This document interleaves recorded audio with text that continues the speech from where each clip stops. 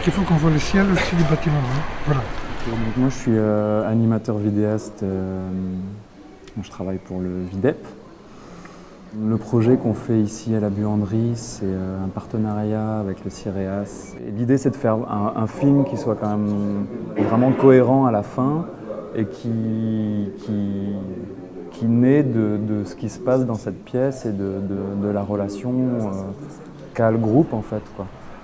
Donc voilà, le thème c'est la mémoire, mais ça, ça part vraiment dans, dans- dans plein de directions finalement. euh. Ensuite, là aujourd'hui, on est allé euh, avec un autre participant, avec Werner, on est allé dehors pour euh, essayer de retrouver le même cadre avec la caméra que lui euh, avait pris euh, dans une photo qu'il a prise il y a, il y a, euh, 20 ou 30 ans, je crois.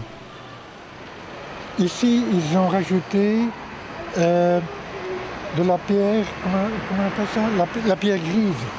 Du coup, la plaque de la- du nom de la rue, on l'a mis au-dessus. Euh, au lieu de ce bâtiment-ci, qui a été démoli, il y a un bâtiment nouveau qui a été construit à la place. Euh, Donc là, la démarche, c'est aussi de,